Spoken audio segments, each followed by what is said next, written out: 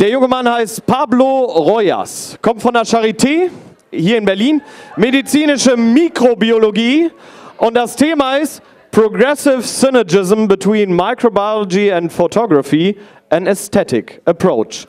Pablo Royas!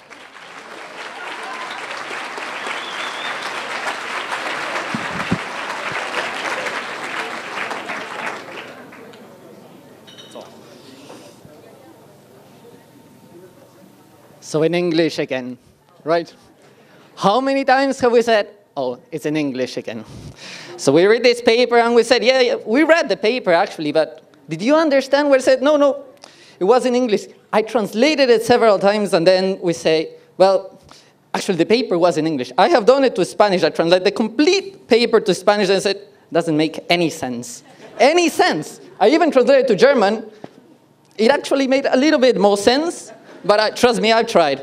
Anyway, every time we're gonna write something, our supervisor says, maybe we try a bit of a catchy title. So we said the catchy title. I've seen it used in an English journal, in an American journal. Actually, the Americans are doing it. Actually, the British do it. Anyway, it's always, always very complicated. So I came across this. This is after I did my bachelor in science in biotechnology. I did a minor degree in microbiology and another one in photography. And then I decided to do a master's in molecular epidemiology. And this is what I came up with a tick and a camera.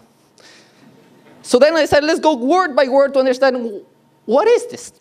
So I decided, okay, let's go synergism. Synergism, we get two things, right? They don't work, they kind of work together. We will make them work together, but if they are not together, it doesn't work. It's useless. So we get two things, we put them together, and then what do we get? So we get the click, the wonderful world of photography, beautiful images, and all this stuff, and then we get bacteria. Then we take click, we try again. And then we tried something about diagnostics and we say, eh, diarrhea. It doesn't make any sense. So how did we come up to mix these two things in the modern world? This is how it works. We work with diagnostics, so we said, yes, okay, the, the kid has been diagnosed with this severe chronic blah, blah, uh, ileitis, whatever. then we go to, all right, then we mix click plus whatever we get, and we say, oh yes, now this new research is being done on this bacteria that is actually very interesting, has never been found. And then we get research, we publish papers, and then I am able to graduate. And then I said, what if I actually mix the click plus the idjit, and then we get, and we try to get some art. Let's see how it went. So if we look at the human history, we've been trying to document everything since the man was drawing uh, horses on caves then we look at the Egyptian drawing hieroglyphics in the pyramids, and then we came to the Middle Ages, the beasts, the religion, and then we start to document stuff. Then we even got Humboldt in Ecuador, uh, taking uh, doing drawings of birds and stuff. Then we got uh, stronger cameras and stuff like that, and we came across microorganisms and bacteria, basically. Along those lines, I decided to start documenting my colleagues, my colleagues' work, my colleagues' samples, during my master's, during my bachelor's, and then they used to call me and said, Pablo, you know, I got this beautiful sample. Can you take a picture? I said, yes, yes, yes, no problem, let's see. Then another one, like, I actually got this beautiful animal. I got a cow. I am really attached to this cow. I really, really like it's gonna be, this cow, this is my paper. This cow will be my paper I'm gonna publish. I'm really attached to this cow. Can you please come and take a picture of the cow? I, I went and I took a picture of the cow, and she was definitely attached to the cow. So I kept on documenting my colleagues, and I came across uh, this was my master's in science. So I started thinking about uh, maybe we kind of see the, the cycle, how does it work? And I came across the spirochetes. The spirochetes are these lovely bacteria that go, uh, that transmit through the urine, and they get into the humans or other animals. I look at them the first time in the scanning microscope and said, they're kind of cute. Then I decided, then they told me, Pablo, you actually have to go and collect 600 samples of urine from dogs. All right. So there we have Princess. Princess actually was my paper in the European Journal of Clinical Microbiology. And then we have Louis. Louis was a bit harder. So I told him, give me food. He was telling me, give me food, I give you pee. Perfect. We went to the molecular diagnostics and it all worked perfectly. Then what do we need to do? Of course, we have to culture the bacteria, then we will be able to produce some papers, we will be able to get more funding, and you know how it goes, no? So we were actually able to culture the bacteria, and then remember the cute spirochetes? We isolated it over there, you see them swimming, they're very happy, and then I said, all right, maybe this picture is good for something, and then we all went drinking. then I came across the, what is called the, the grosse Leberegel, right? If I pronounce it correctly. So then my, my friends were telling me, you have to take picture of this. It is beautiful. Then I look at the thing in the microscope. I say, it's, it's, this is disgusting.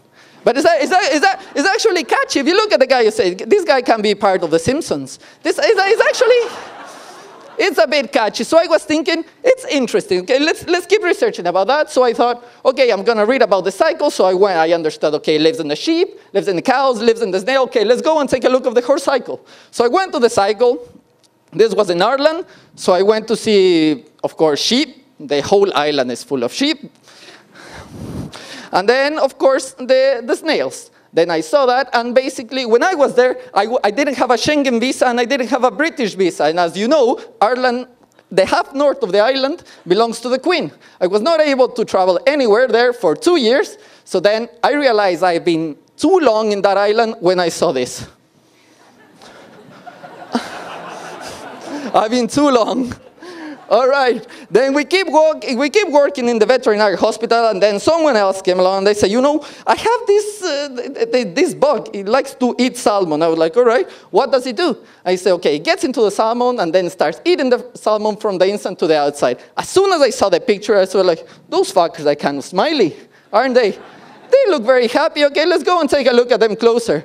So I went there and we took picture of this. We got it published in the Irish Times and uh, we got the first prize for the images of research in some competition. And then I said, there's actually something deeper and it must be, must be more interesting from the inside. And then of course, look at this. These are the teeth and this is what they do.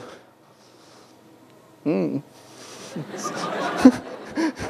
All right, so along the lines of things that look like something else, I came across, you, you come across a lot, a, a lot of images that they say, okay, Pablo, one more time. They were like, you have to see this Cryptococcus. This is the first time we found it in the eye of a horse. So I went to see the Cryptococcus. I see no Cryptococcus.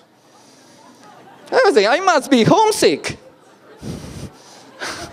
right? I must be homesick. Along the same lines, uh, I came across the, the media, right? And then bacteria growing. So I was thinking, actually, this landscape look beautiful. So I was thinking, yeah, so Salmonella, E. coli, and all of them. This is what bacteria look like when they get together and start growing. I start to get a little bit more witty and a little bit more intelligent, and at the end, you always end up getting political and then ecological. Oh, look at the landscapes of those petri dishes. They will end up like this. If we don't take care of our planet, we will end up like this. Basically, no, no, it's not funny. It's true. we, we will end up like that. So, uh, along with the dogs, I ended up looking. I, I, ended up finding this. This 2008 here in Berlin. I came to the. I came to do some uh, practices here, and I found this spirochete in the kidney of an animal, in the kidney of a dog, and it looked like. It actually looked like the Enterprise. Looked like the Enterprise traveling along, and then I said, "It's just like the Russians." Remember when the Russians decided to put a dog and send it to the space? It's exactly the same. That's, that's where the name come from. Interstellar spirochete. I thought it was funny, but it's okay. right, along those lines, I was definitely a tourist as well. And then I was thinking, so, so I went to France because you know you always hear about France. You have to go to France. So I went there and they said they start talking about the D-Day. You have to see this. This is where the Allies, where the Allies landed, the Americans and all this stuff, you know. And then I was looking at the map and I say, I've seen this before. they get together, they talk to each other, there we go. So I thought, maybe we get something out of this.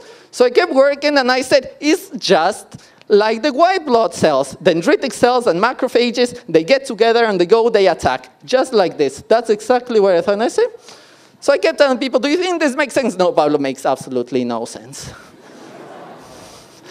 Along those lines, I came across, I, I told my friends, my cousins, Pablo, you know, we should do something. I told them, hey, let's get together and do something. And so I came across this zoonosis group. So we decided to fund the zoonosis group, which was our first exhibition. So zoonosis is basically any disease that can be transmitted from animals to humans or Nowadays, vice versa, right? And then basically we were doing a couple of exhibitions, funny things, and we even got funded. The idea of us was actually to make pictures from zoonosis, epidemia, pathology, quarantine, and all these very terrific and very catchy words that we see in the news, make them available to the public in a visual way, because that will help the public not only understand, but actually have a laugh as well. We ended up doing logos for the people who, who, who, work with us. We were in Ireland, the Celtic Tiger was there. Everybody thought they were going to be rich. All right, we get all this money from the European Union. We're all going to make our own enterprises. Nothing happened. The best thing they got was the logo, and that was it. We did an exhibition about zoonosis, so we get the two ticks there dancing, kissing with the shadow of the, with the, shadow of the humans there. We also made a video. Please look at the video.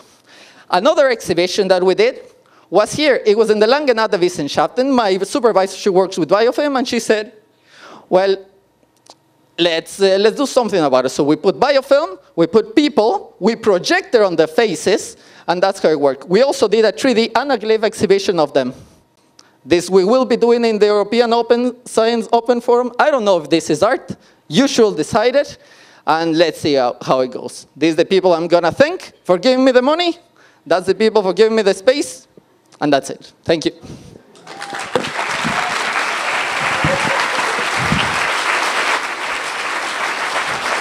Pablo Rojas. Dankeschön.